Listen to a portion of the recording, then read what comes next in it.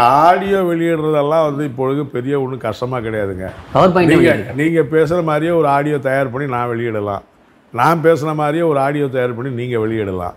இன்றைக்கி இருக்கிற தொழில்நுட்பத்தில் அதெல்லாம் ரொம்ப ஈஸியாக இருக்குது. நான் என்ன கேட்குறேன்னா அவர் வந்து ஊழல் பட்டியலை தான் வெளியிடுவேன்னு சொன்னார். ஆனால் இப்போ சொத்து பட்டியலை வெளியிட்டிருக்கார். ஊழல் பட்டியலுக்கும் சொத்து பட்டியலுக்கும் வித்தியாசம் இருக்கா இல்லையா? ஒருவர் ஏற்கனவே தான் சொத்து வச்சுருக்கிறோம். அந்த சொத்தை வந்து எலெக்ஷன் அந்த படி படிவத்தில் தெளிவாக சொல்லியிருக்காங்க.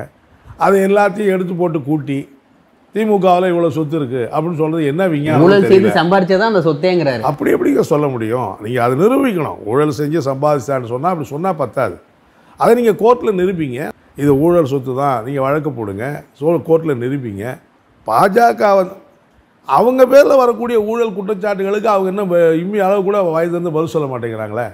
இப்போ இந்த ஆருத்ரா கோல்டு நிறுவனம் இருக்குது அதுக்கும் பாஜகவுக்கும் என்ன சம்மந்தம் இருக்குது அதுக்கும் பாஜகவுக்கும் என்ன உறவு இருக்குதுன்னு பல சர்ச்சைகள் வருது.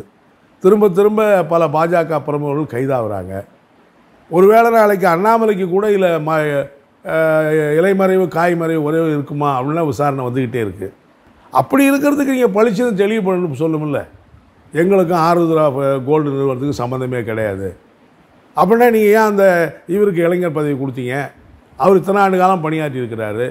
ஸோ இது மாதிரி ஆட்சியிலேயே இல்லாத ஒரு நாடாளுமன்ற உறுப்பினர் கூட இல்லாத ஒரு கட்சி தமிழ்நாட்டில் நீங்கள் வந்து இவ்வளவு பெரிய ஆயிரம் ரெண்டாயிரத்தி நானூறு கோடி ரூபாய்க்கு முறைகேடு நடந்திருக்காது. பல லட்சக்கணக்கான மக்கள் பாதிக்கப்பட்டிருக்காங்க. அப்படி இருக்கிற நீங்கள் அடுத்தவங்களை குற்றச்சாட்டுக்கு பண்ணுறதுக்கு முன்னாடி உங்களெல்லாம் நீங்கள் தெளிவுபடுத்திக்கணும். அதை செய்யாமல் நான் அதுக்கு பதிலே சொல்லாமல் நான் வந்து அவங்க பேரில் புகார் கொடுப்பேன் இவங்க பேரில் புகார் கொடுப்பேன் கொடுத்தா அதுக்கு பதில் சொல்ல போகிறாங்க இப்போ நாங்கள் அண்ணாமலையை விமர்சித்தா நீங்கள் வந்து கோவப்படலாம். கூட்டணி கட்சி தலைவர்களே அண்ணா அண்ணாமலையை பற்றி எவ்வளோ விமர்சிக்கிறாங்க? இவர் என்ன ஒரு ஆள்? இவர் என்ன ஒரு தலைவர்?